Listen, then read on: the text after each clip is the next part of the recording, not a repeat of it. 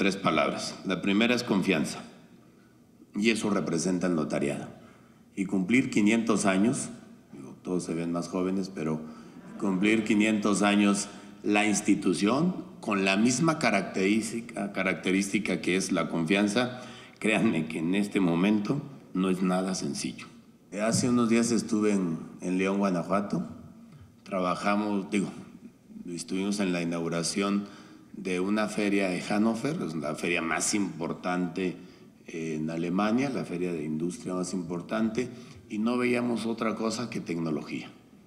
O sea, había 700 stand y en todos había solamente tecnología. O sea, eso es lo que, en lo que estamos inmersos y a lo que tenemos que entrar. sin ni siquiera decir, y es bueno o es malo, de plano, si no le entras, te quedas atrás.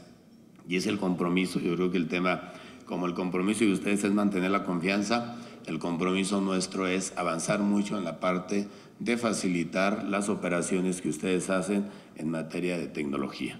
Entonces, cerrar filas, tendremos que tomar algunas decisiones importantes.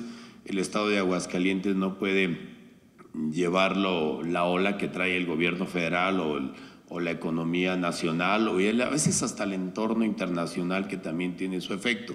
Presentar un paquete económico especial para promipymes, para pequeñas y medianas empresas y también echar mano de un fondo de estabilización que se tenía de mil millones de pesos para reactivar la economía en materia de construcción.